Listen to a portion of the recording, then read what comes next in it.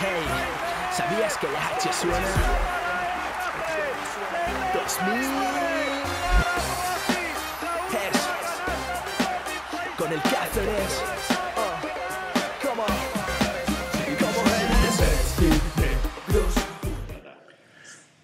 Bueno, buenas tardes. Eh, la semana, la verdad es que ha transcurrido bastante bien. No hemos tenido ningún problema serio de lesiones, hayamos tenido que parar algún jugador. Hemos entrenado bastante duro, con continuidad.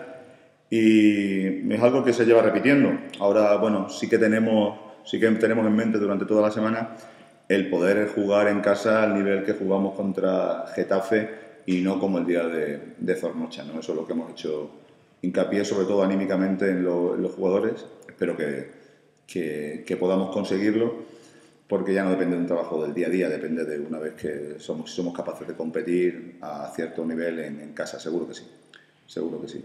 Y en cuanto a Araberri, pues un, equipo que lleva el, mismo bagaje que nosotros, uno ganado y, uno perdido, con un poco parecido a Zornocha en el sentido de cómo tiene construido el, el equipo. Eh, tres jugadores muy importantes interiores, como son Obade, Jay y Martín Buesa, que lo tuve en la, en la selección.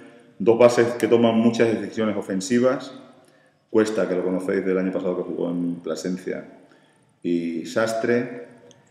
Eh, y jugadores jóvenes exteriores en los puestos de alero y, y de alero alto, con atléticos que son capaces de poner la bola en el suelo. Bueno, un, un equipo que, que nos va a hacer eh, estar duro en el uno contra uno, tener especial, eh, especial hincapié tendremos que hacer en la defensa de lo- del poste bajo y eh, mm, pues mucho ritmo, mucho ritmo porque es como les, les- les gusta jugar. ¿no? Preguntas, por favor. Mm, decía el otro día en el privado Fernando López que es una de las dos mejores plantillas de la liga. ¿Estás de acuerdo? Eso hasta que cuando termine la temporada se lo, se lo comentaré a Ferran. Él, bueno, bueno, me imagino que él- yo estoy contento con, con mis jugadores y con la calidad que tienen mis jugadores, pero eh, por ejemplo Getafe tampoco se queda se queda corto, ¿no? Por lo pronto hay al- algún ya que, algún que otro jugador en, en la plantilla de Getafe que entrena con el ACB y que posiblemente pueda que pueda jugar. De los nuestros ninguno por ahora. Pero sí, yo estoy contento con mi plantilla, claro, porque no voy a, voy a estar contento y asumir que somos una- un buen equipo. Si no, echaría piedras sobre mi tejado porque me podríais decir que no soy capaz de hacerlo. Y eso, sé, hacer equipos.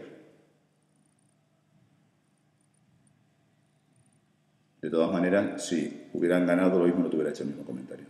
Ferran es así, ¿sabes? Que el tío sabe más que las paredes de Guaylova.